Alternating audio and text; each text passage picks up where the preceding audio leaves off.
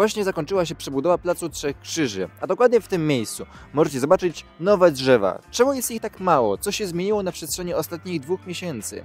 O tym wszystkim w dzisiejszym filmie. Zaczynamy!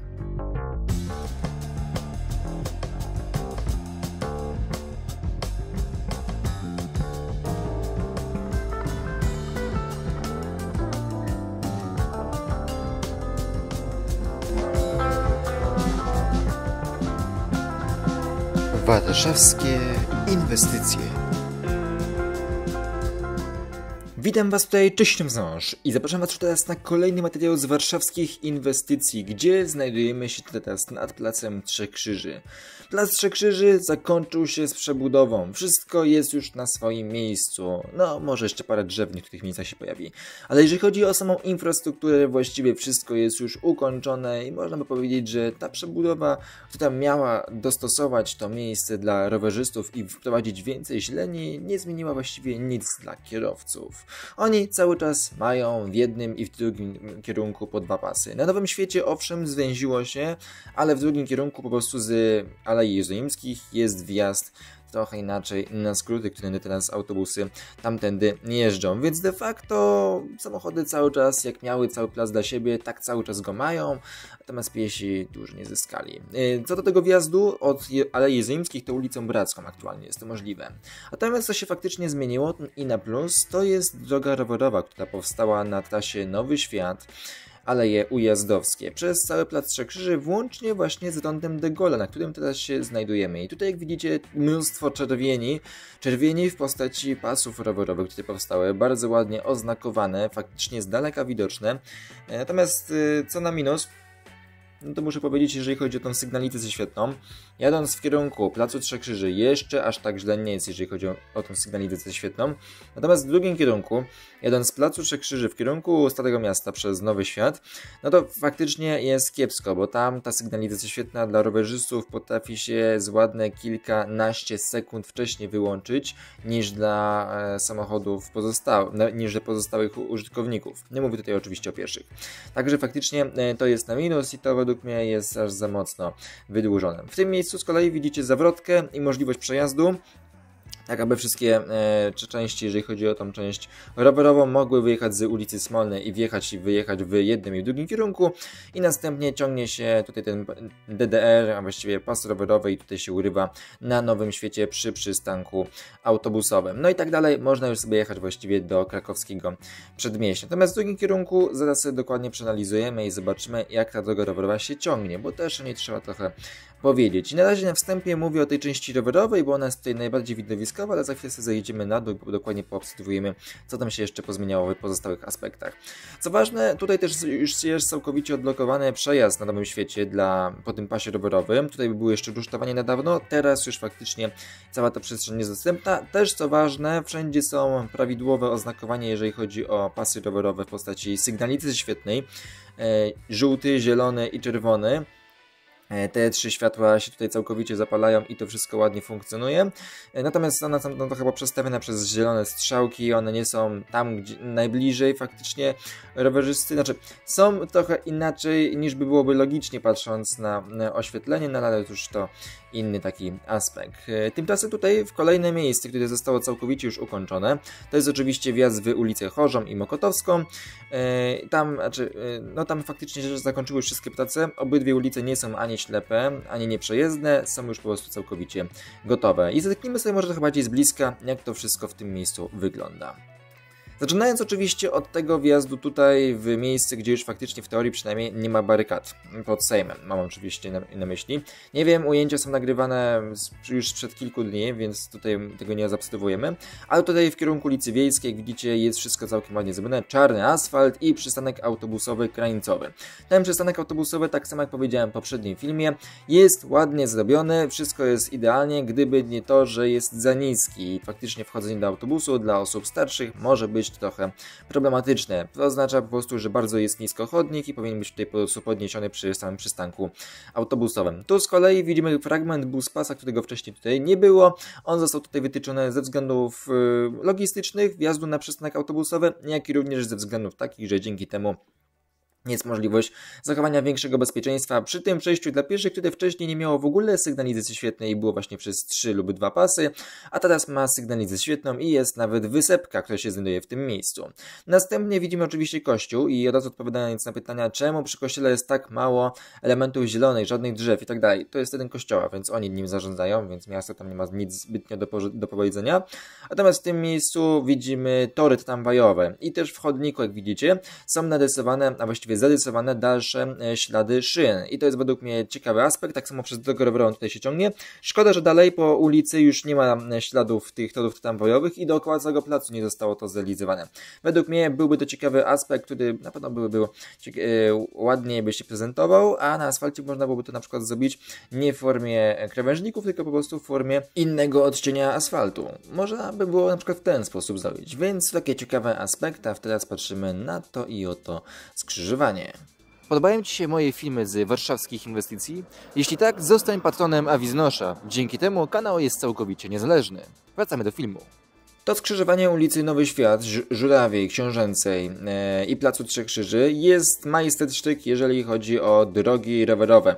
Możecie zobaczyć mnóstwo elementów czerwonych i trzeba lepiej to przeanalizować sobie dobrze, później można dokładnie tutaj jeździć sobie już na pamięć, bo faktycznie możliwości jest to niemiara, też się zmieniły możliwości dla samochodów, nie wszystkie zakręty, przejazdy aktualnie są możliwe legalnie, to pamiętajcie o tym kierowcy, natomiast faktycznie całkiem ładnie się to prezentuje i jest to funkcjonalne, można wszędzie dojechać, również w ulicę Żurawią, dalej prosto, z tym, że ten przejazd rowerowy, choć jest, nie oznacza, że jest legalny i dalej można pojechać.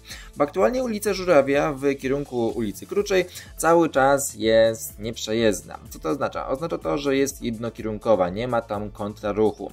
Kontraruch dopiero będzie wprowadzony, kiedy faktycznie ulica Krucza zostanie przebudowana, bo trzeba przebudować tam te skrzyżowania, aby kontraruch po prostu miał jak bezpiecznie wyjechać. Kiedy to się stanie? Nie wiemy, bo przebudowanie budowa ulicy Kluczej cały czas czeka, różne trasy są tam teraz realizowane, więc jeszcze chwilę poczekamy, ale jak widzicie to skrzyżowanie tutaj właśnie ulicy Kruczej, e, ulicy Żurawie i ulicy Brackiej jest już przygotowane pod to, aby był wjazd w ulicę Żurawią, tam na wprost, ale po prostu jeszcze nie jest wytyczone, bo byłoby to aktualnie niezgodne z przepisami, po prostu tak nie można pojechać. Tu z kolei jest ciekawostka, że historyczny bruk został wyciągnięty, może tego, że tutaj faktycznie mało samochodów będzie jeździć, nie będzie zdeptany i zniszczony. I też tutaj się przystanek znajduje stary przystanek auto autobusowy. Co prawda nie ma tutaj właściwie jakkolwiek go zasygnalizowanego, no ale jest zasłonięty, więc może w przyszłości będzie wykorzystany. Tutaj też są miejscówki dla taksówek i drzewa, które tam się znajdują. Następnie lecimy sobie wzdłuż tego pasu rowerowego. Kolejna wysepka oddzielająca jezdnię od, od y, pasa rowerowego. No i tutaj już wjazd w ulicę Mokotow, y, w ulicę Chorzą po prawo i w ulicę Mokotowską na wprost. I zwróćcie uwagę na tego czerwonego rowerzystę. On skręcił tutaj w prawo, jadąc w ulicy Chorzą, następnie mamy słupek i nie ma wjazdu. Czemu tam nie ma wjazdu? Dlatego, że ulica Chorza, podobnie jak ulica Żurawia, cały czas nie ma kąta ruchu w związku z brakiem przebudowy ulicy Kruczej.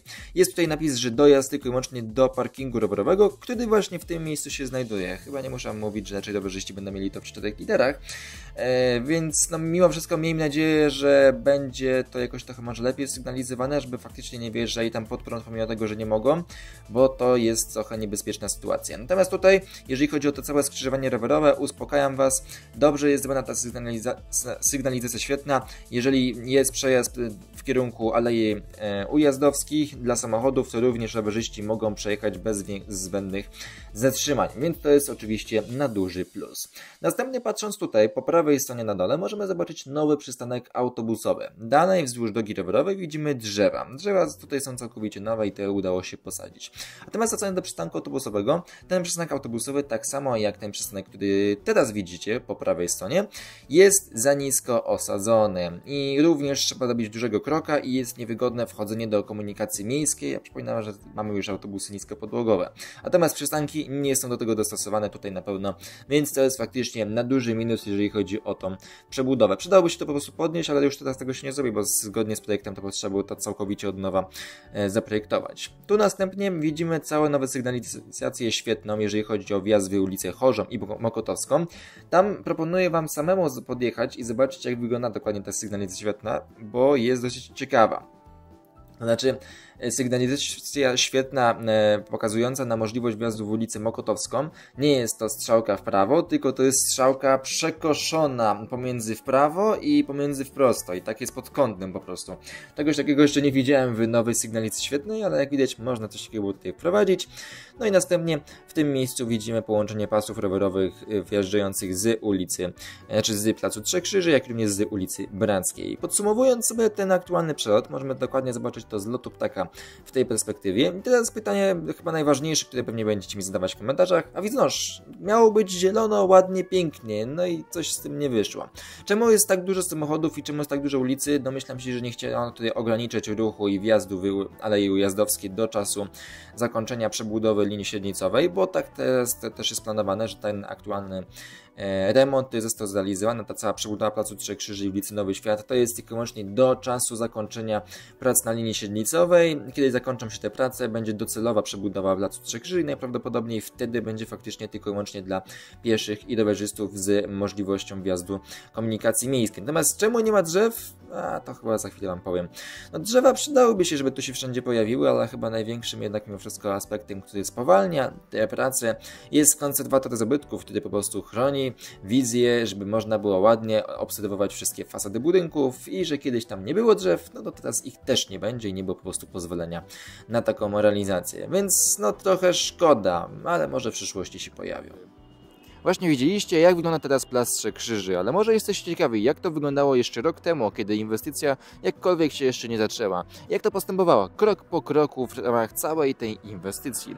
Jeśli tak, to kliknijcie subskrybuj i ten dziwny dzwoneczek, bo w przeciągu najbliższych tygodni pojawi się film z dokładnym podsumowaniem krok po kroku, jak ta inwestycja postępowała, z pokazaniem side by side, jak to się zmieniło na przestrzeni właśnie tego roku. Tymczasem wracamy jeszcze na koniec filmu. Więc dokładnie tak jak teraz powiedziałem, będziecie mieli dokładne podsumowanie, jak to się zmieniało podczas całej tej realizacji.